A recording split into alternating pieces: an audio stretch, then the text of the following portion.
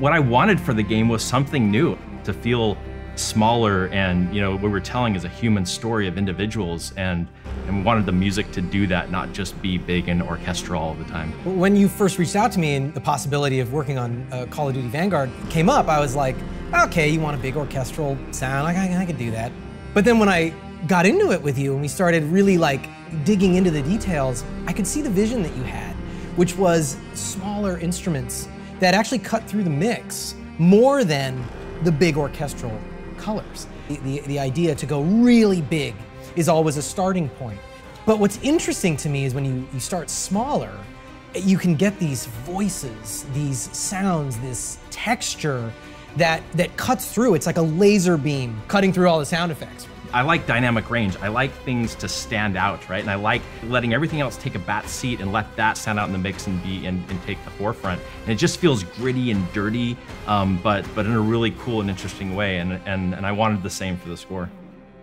For one of the first times in my career, I recorded before we really wrote anything. Before you wrote a note. It was very almost improvisatory. We were just getting textures.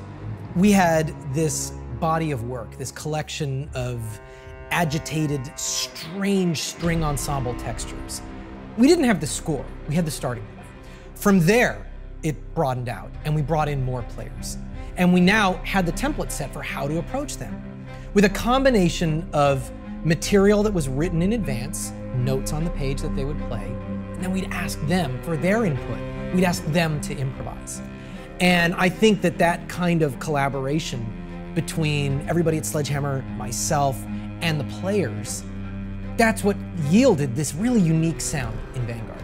I, I loved that you wanted to work like that, right? Like, like I, yeah. I love because ex again, experimentation is exactly it's exactly how I work. We wanted to do something different, and for and for me, there's there's always there's a bit of you know trepidation in doing something like that, right? Because it's like, oh man, this is Call of Duty, and and there's a certain you know sound that is usually associated with Call of Duty, and we want to sort of break that mold and do something entirely different.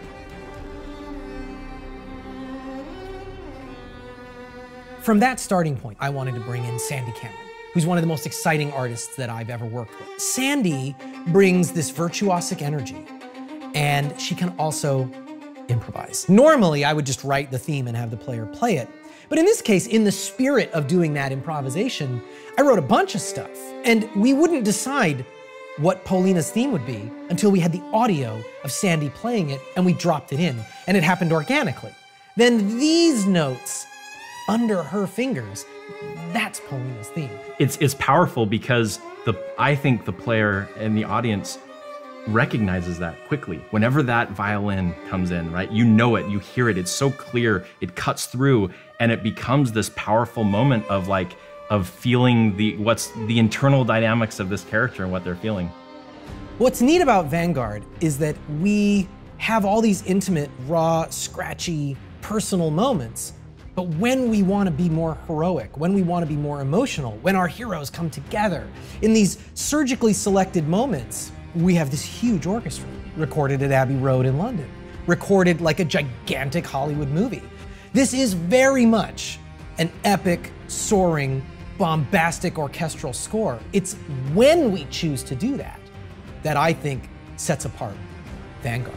Yeah, I think the the score in, in, in what we did uh, I think really elevates music in our game um, in a really powerful and interesting way. We started this whole thing wanting to take some risks, wanting to do something to change the sound, to be risky, bold, and experimental, but deep down inside, I'm hoping that it just becomes part of Call of Duty.